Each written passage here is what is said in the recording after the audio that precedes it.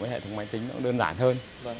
À, rất là cảm ơn Thức đã đến với doanh nghiệp của anh trong một cái sáng mùa thu rất là tuyệt vời đúng không? Vâng. Thì Vĩnh Giang của anh thì công ty Vĩnh Giang thành lập từ 2006 các bạn sẽ đồng bộ đơn còn các cái hoạt động kinh doanh thì ở các cái bộ ở ngoài đường Vâng. qua hệ thống online thì các bạn sẽ nhận thông tin từ đây và chuyển cái thông tin ờ, hạ đơn hàng xuống dưới kho Hiện tại nay thì ờ, Thức đang ở công ty của ờ, anh ờ, Hùng là công ty Vinh Giang. Biết là một cái doanh nghiệp rất lớn và hàng đầu về ờ, cung cấp các cái sản phẩm về ờ, các cái ờ, hóa à, hóa mỹ phẩm đúng không ạ? hàng tiêu dùng À, hàng hàng hàng tiêu dùng. Rồi xin mời anh Không ạ, thì à, rất là cảm ơn Thức đã đến với doanh nghiệp của anh trong một cái sáng mùa thu rất là tuyệt vời đúng không? Vâng. Thì Vĩnh Giang của anh thì công ty Vĩnh Giang thành lập từ 2006 thì trong đã cách đây 3 năm thì công ty có chuyển vào trong khu nghiệp Vâng. với một mở rộng Vâng. và xây dựng trong một khu đất khoảng một hecta Vâng. thì diện tích nhà xưởng của anh khoảng 6.500 mét công việc chính bên anh là phân phối hàng tiêu dùng Vâng. ở khu vực à, Hà Nội và Bắc Ninh Vâng. thì à, trong khu vực này thì hiện tại anh đang sử dụng khoảng hơn một nửa còn Hơn một nửa. thì là đang dư thừa để cho đối tác nước ngoài họ thuê Vâng.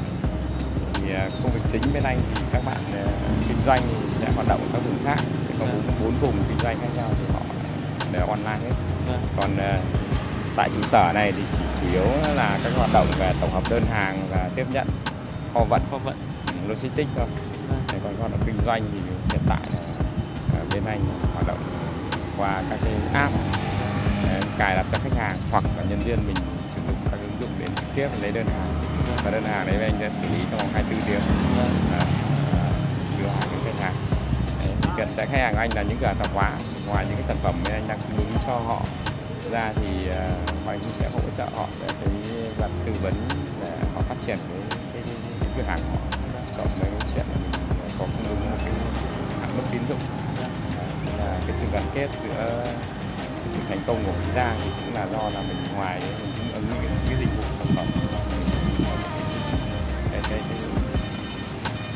trị gia tăng hơn nữa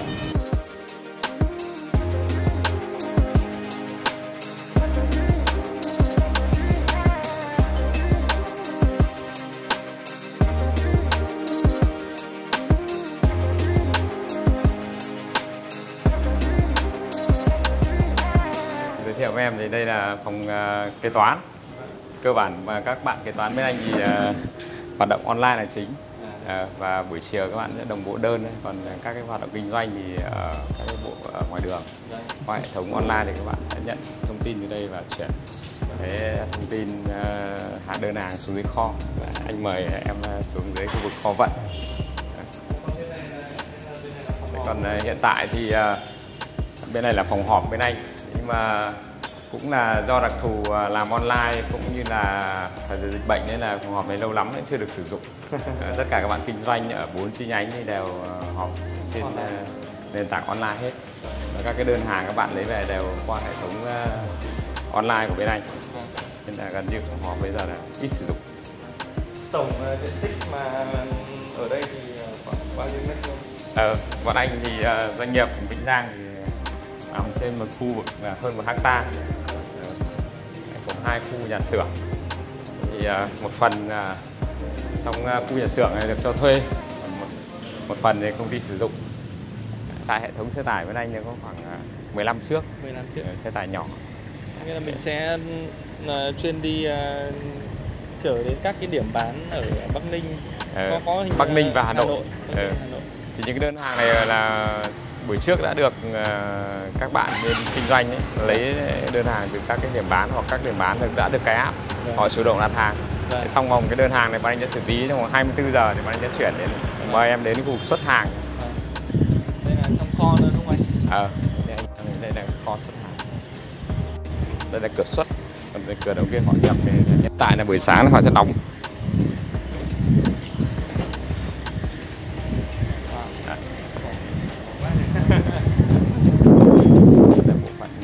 chứa Vâng. Họ chứa này thì được à, thiết kế bằng các cái rách chứa hàng tiêu chuẩn. Vâng. Ờ, thì cái nhà cung cấp họ cũng đưa những cái kiện hàng này đóng tiêu chuẩn để mình chỉ đưa xe nâng lên thôi. Có hệ thống xe nâng nâng cao 6 mét đưa vào là lấy hàng ra. cái hàng hóa đều được đánh mã rồi và cái việc sắp xếp quản lý nó cũng sẽ đồng bộ với hệ thống máy tính nó đơn giản hơn Vâng. cái à, công tác xuất hàng này nó sẽ mất khoảng 2 đến 3 tiếng buổi sáng. Còn nhập hàng thì là cả ngày. Mỗi một tháng thì bên anh nhập khoảng ờ, khoảng 1.500 tấn hàng. Nhập vào 1.500 là cũng chuyển ra hơn 1.500 tấn hàng các loại. Đây đây một cái dạng xe nâng này, này. xe nâng cao 6 mét rưỡi nâng họ đưa đắp rưỡi. rig đưa hàng vào sâu vào trong cái kệ thì à, mình dùng cái hệ thống giá kệ này thì nó dễ quản lý hàng hóa và nó gọn chứa được nhiều khả năng ờ, chứa hàng tăng gấp 3 lần diện tích bình thường đến với diện tích 1.000 mét này thôi nhưng mà anh Chứa rất nhiều nữa chứa rất nhiều Có hàng. 6 tầng này thì chứa Ừ. rất nhiều. ừ. Hoa là chủ yếu là các loại à, hóa mỹ phẩm hóa mỹ phẩm. ừ. cũng có phần ờ, hạt nêm này ờ, thực phẩm này Đó. tương ớt này ừ. còn manh còn khu kho bên cạnh là dùng ờ, để chứa một cái kho kho, kho đông lạnh kem ừ. kem phát triển mới mới triển khai